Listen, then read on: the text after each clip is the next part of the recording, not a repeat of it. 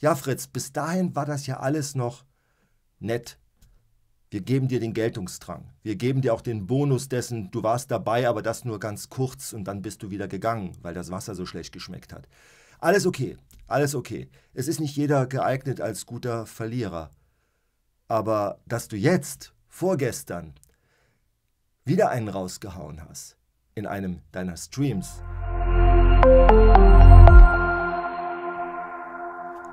Meine lieben Freunde, wir müssen reden.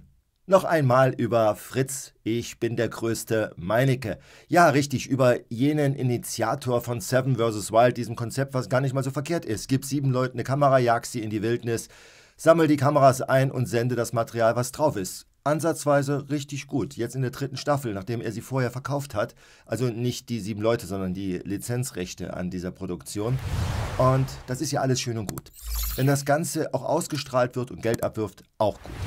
Das Problem sind die Fanboys. Das ist die Fangemeinde oft jugendlich, Teenager oder aber bedingungslos hörig, auch wenn sie dann schon etwas älter sind. Das ist das Problem, nämlich wenn ihr Halbgott nicht mehr zum Anhimmeln taugt und der Olymp sich so langsam in dunkle Schatten hüllt. Fritz Meinecke hat die Bodenhaftung so ziemlich verloren und auch in den letzten Jahren Werbeverträge. Warum? Nun, er ist ein Charakter, positiv wohlwollend würde man sagen, mit Ecken und Kanten. Noch wohlwollender würde man sagen authentisch. Ist man etwas kritischer, kommt man eher zu dem Schluss, dass er wirklich die Bodenhaftung in Gänze verloren hat und so ziemlich macht, was er will und das ziemlich selbstgerecht. Und damit meine ich nicht nur die Auftritte bei Twitch und YouTube, nein, auch in Natura im realen Leben, wobei da verschwimmen offensichtlich die Grenzen. Ich meine auch nicht nur die illegalen Autorennen, wo er zu 60.000 Euro verknackt wurde. Übrigens, beachtlich, dass man den Tagessatz mit 1500 Euro angesetzt hat. Und ja, da war es aber zum Beispiel so, er hat noch nicht einmal das Standing gehabt, um zu sagen, ja, Mai war halt ein Rennen und ich muss halt zahlen, weil ich erwischt wurde. Das wären Eier, auf die kommen wir übrigens noch zu sprechen. Nein, er, mi, mi, mi, mi, das war kein Rennen, ich wollte mich nur vor dem Tesla einreihen und der Tesla hat auch, hat auch Gas gegeben. Also auf einmal war das mit seiner Männlichkeit gar nicht mehr so, da war er mehr so die Mimi-Muschi, die alles retten wollte, um aus der Nummer halbwegs klimpflich rauszukommen. Das hat mit Standing genauso wenig zu tun wie der gelbe Knopf jetzt in Kanada. Aber das ist ja noch nicht alles. Wir erinnern uns, er war ja auch Gaststar beim Ocean Warrior, damals dem ersten Projekt von Otto, einem anderen Outdoor-Spezialisten. Man beglückt sich ja da gegenseitig. Und, und da gab es Spielregeln, wer was mitbringen durfte, wie man sich anziehen sollte für dieses Abenteuer im und auf dem Wasser. Und damit alle gleiche Voraussetzungen haben in einer wettkampfähnlichen Situation, war auch ganz klar geregelt, was geht und was nicht geht. Ja, das interessierte alle, nur eben nicht unseren Fritz, weil Fritz, dem es offensichtlich in den Genen liegt, zu bescheißen. Er, der Cheater vor dem Herrn. Er sagte sich, er zieht einen Neoprenanzug drunter an, weil dann macht Kälte nicht so viel aus. Und er steckt sich Bleigewicht in die Taschen, weil dann ist man auch besser beim Tauchen. Wieder hört man die Fanboys, die sagen, oh, er ist clever, er hebelt das Regelwerk aus. Das ist wohlwollend. Weniger wohlwollend wäre es, wenn man sagt, jemanden, dem das Bescheißen so in den Genen liegt, dass er keine Gelegenheit hat, wenn es nur um einen kleinen Wettkampf unter Freunden geht, um sich seinen persönlichen Vorteil zu besorgen. Wie ist so jemand im realen Leben? Was für Charakterzüge sind das? Ja, und diese Reihe lässt sich natürlich fortsetzen, denn es geht nicht nur um das Cheaten bei Freunden, es geht auch um seine an den Tag gelegte Frauenfeindlichkeit. Wisst ihr noch? Die 5-Euro-Nummer am Straßenrand in Ungarn, als er einen 5-Euro-Betrag ausgerufen hat für eine Gefälligkeitsleistung für die etwas leichter bekleidete Dame am Straßenrand mit der Kamera draufhielt. Jetzt kann man ja trefflich drüber streiten, das Adrenalin berauscht durch diese Testosteron geschwängerte Atmosphäre mit zwei Kollegen im Schweiß, der oft thematisiert wurde, der Schweiß und auch die anderen Exkremente. Also, dass in dieser Situation er sich hinreißen gelassen hat, er ist ja noch ein junger Kerl und da kann man davon ausgehen, er hat seine Gefühlswallung nicht im Griff. Dass er dieser Dame dieses Angebot zugerufen hat, ist das eine. Da kann man wirklich sagen, okay, sei es drum, er ist halt noch ein junger Mann, unreif, im Ausland. Nein, es wurde gefilmt. Und zwar nicht nur von hinten. Nein, er drehte sich auch noch um und filmte die Frau noch von vorne. Und brachte diese Szene auf Sendung.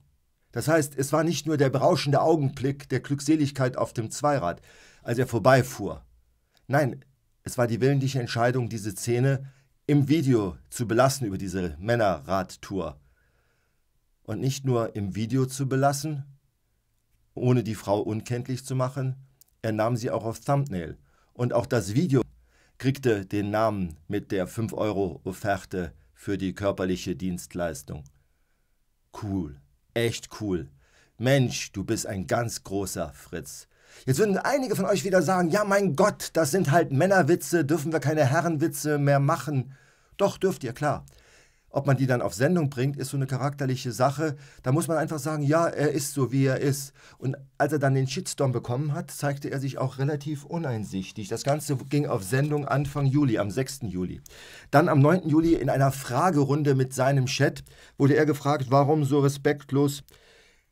Und er meinte, wer das als respektlos empfindet, ist auf meinem Kanal falsch. Also eine ganz klare Aussage, was für ein Typ er ist, wofür er steht und dass das einfach Programm bei ihm ist.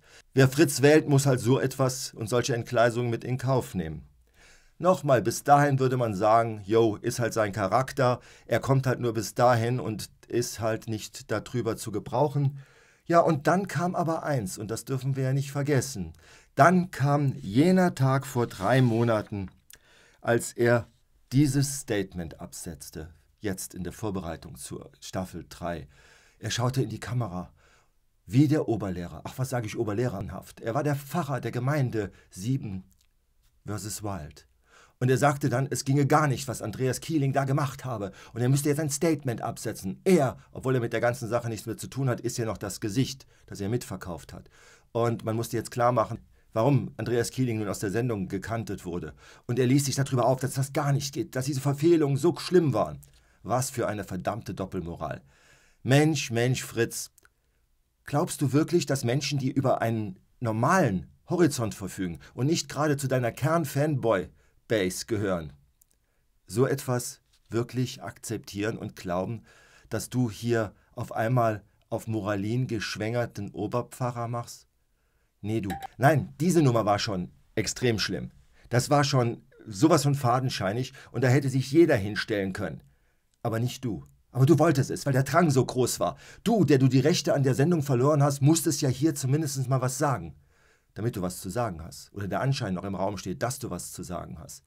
Ja, Fritz, bis dahin war das ja alles noch nett wir geben dir den Geltungsdrang. Wir geben dir auch den Bonus dessen, du warst dabei, aber das nur ganz kurz und dann bist du wieder gegangen, weil das Wasser so schlecht geschmeckt hat.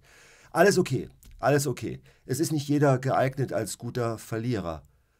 Aber dass du jetzt, vorgestern, wieder einen rausgehauen hast in einem deiner Streams und ich spiel's euch mal ein. Wenn du als Dritter in eines der anderen Teams gemusst hättest, welches Team hättest du gewählt? Oh, das ist eine geile Frage. Das ist eine geile Frage. Wie viele Kondome hatten Affe und Hanna dabei? Das ist Fritz Meinecke, meine lieben Fanboys. Das ist der Typ, dem ihr den Olymp geöffnet habt, den ihr oben auf einen Sockel gestellt habt, weil ihr ihn so toll findet. Und ich weiß, ihr werdet ihn auch zukünftig noch toll finden, weil jetzt rückt die Gemeinde zusammen. Jetzt muss man den Urvater des Survival das war übrigens Rüdiger Neberg. Das wirkt mehr wie sein Adoptivsohn, so angeheiratet wie Prinz von Anhalt. Aber ich schweife ab. Wisst ihr, was nach der Aussage da im Raum steht? Diese Kondomnummer ist alles andere als vorzeigbar und zeigt so den wahren Charakter. Und für uns, ganz ehrlich, ist es doch eine wunderschöne Gesprächsgrundlage.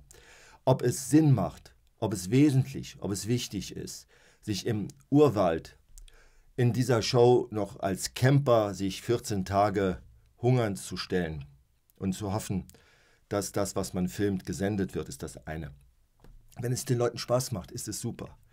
Wenn es aber um Scheinheiligkeit geht, wenn es um das Vorspiegeln falscher Tatsachen geht und um diese verkappte Form des Anbahnens und wenn man sich dann überlegt, dass dann da zwei Frauen im Camp sind, die als Quote gehalten werden und dem Zotenkönig als Steilvorlage dienen, dann wirft das nicht nur ein fragwürdiges Licht auf den Übervater dieses Formates, sondern auch die hier am Rockzipfel hinterher marschieren.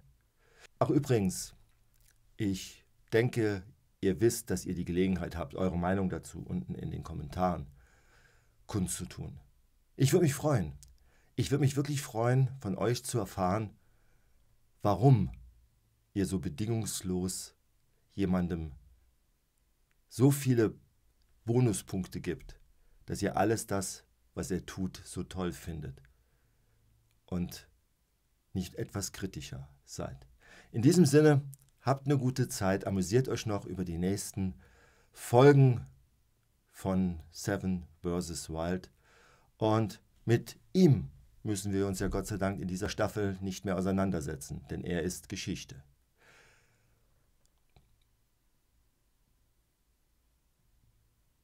Ja, meine lieben Freunde, wenn ihr das Ganze bis hierher gesehen habt und langsam aber sicher sich die Halsschlagadern bei euch wieder so ein wenig zurückentwickeln und der Kopf wieder ein bisschen klarer ist und ihr euch die Finger in der Kommentarzeile wund getippt habt und den Daumen runter Button gedrückt habt, gut gemacht.